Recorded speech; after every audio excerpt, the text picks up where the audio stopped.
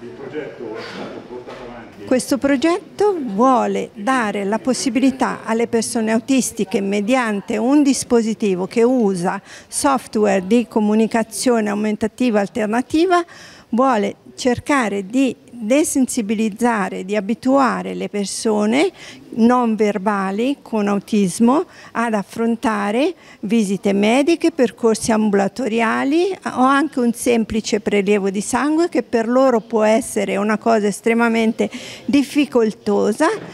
Vogliamo iniziare un percorso per aiutare persone autistiche e famiglie ad affrontare questi, eh, questi eventi con maggiore serenità da,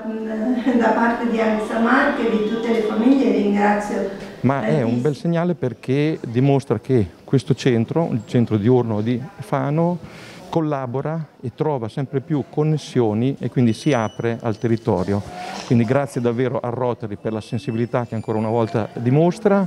e sono momenti importanti perché dimostrano che appunto c'è un'attenzione nei confronti di chi è più fragile di chi ha vissuto appunto con ancora più difficoltà il periodo di distanziamento che era fisico ma poi anche sociale, quindi per abbattere sempre di più